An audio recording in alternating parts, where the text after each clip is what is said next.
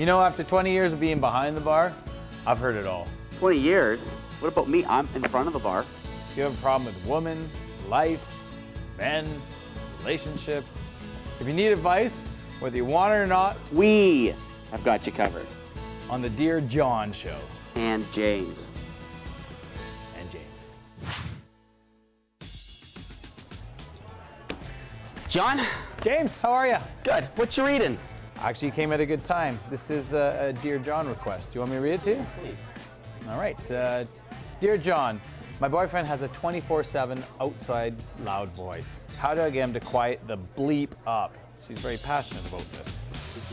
Should I wrap his head in duct tape, cover his mouth when he speaks, constantly give him the shush signal, try to talk louder, which is nearly impossible, ignore him and only respond when he talks normally, buy myself a microphone, help, Dear John?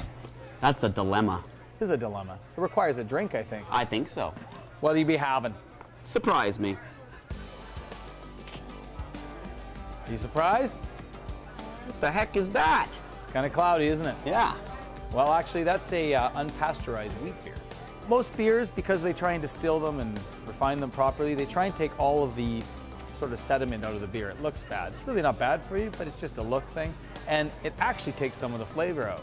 So in recent sort of history, a lot of the beer makers are going back the old way and trying to bring in the sediment or sort of taste, if you will, back into the beer. So they leave them somewhat unpasteurized, unfiltered. So they're not filtering it all the way through so it's a completely clear beer. So that beer, being a wheat beer, should actually have a little more flavor of wheat than most beer.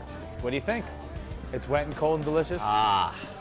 Well, we've actually got a question to answer here. We better get on. Right. Tough one, albeit. Well, I like option D, the microphone. Right. But those of us who kind of don't like obnoxious loud people, option A, the duct tape, is a very, very enticing offer.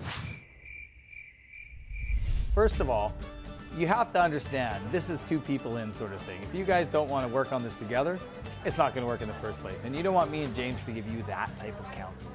So, that aside, assuming you both want to work on it, there are ways around this. My parents always had this little sign they would have. If my dad was saying something silly that embarrassed my mom, she'd always just sort of move her hand up her face and do one of these.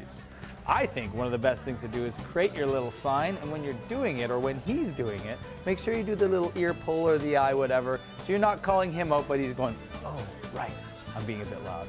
I think that would work. What do you think, Jim? I think you get louder and clearer in the moment.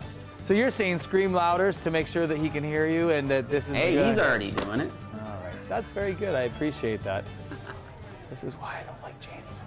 Well, thank you very much, Mrs. I don't like a loud voice for your submission. If you have a question for James, Or John at the Dear John Show. you can put your comment on the Blind Beggar Pub's Facebook page. And cheers.